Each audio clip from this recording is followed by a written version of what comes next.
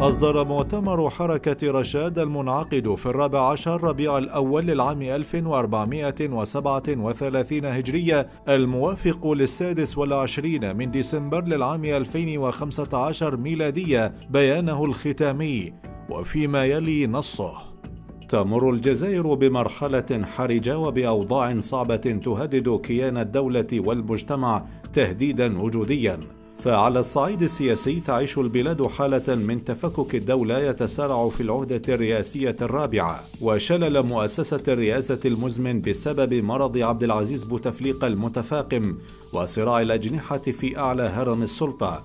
مع بروز واضح لجماعات من أصحاب المال يتزايد نفوذها باضطراد وتصبو إلى الاستحواذ على ما تبقى من مؤسسات الدولة ومقدرات البلاد. يتزامن كل ذلك مع تآكل خطير للسيادة الوطنية وتزايد للتدخلات الأجنبية السافرة في حين تتسم المعارضة بعدم الفعالية وعدم تحمل مسؤولياتها والفشل في الارتقاء إلى تطلعات المواطنين إلى تغيير عميق لطبيعة النظام.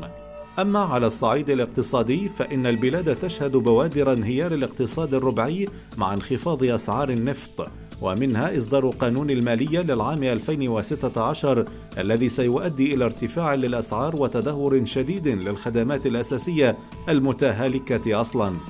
وعلى الصعيد الاجتماعي برزت على الساحة الجزائرية توترات مجتمعية تهدد اللحمة الوطنية شبيهة بالاستقطابات التي تشهدها دول المنطقة والتي تتفاقم بفعل قوى تعارض الانعتاق السياسي لشعوبنا وقد قامت هذه القوى المدعومة من أطراف إقليمية ودولية تشعر بالتهديد من أفق ديمقراطيات حقيقية في العالم العربي بإيقاف الزخم التحرري العظيم الذي بشرت به انتفاضات الشعوب ضد أنظمة الاستبداد والفساد.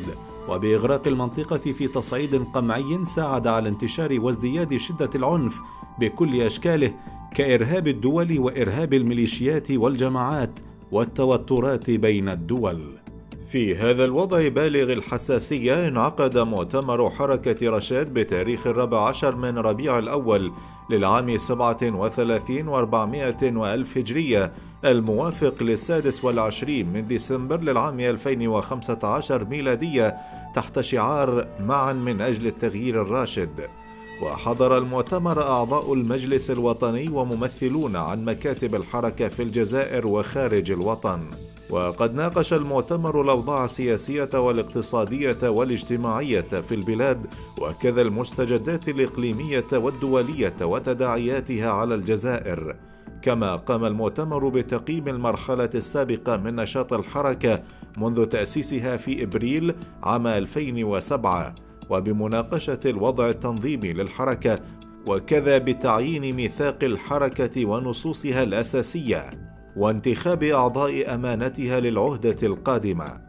إن مؤتمر حركة رشاد يدعو الشعب الجزائري بمختلف قواه وعلى رأسها القوى السياسية المخلصة إلى العمل المشترك من أجل تجنيب الجزائر الوقوع في الفوضى ولأحداث تغيير جذري لا عنفي يمكن من إقامة دولة القانون والحكم الرشيد.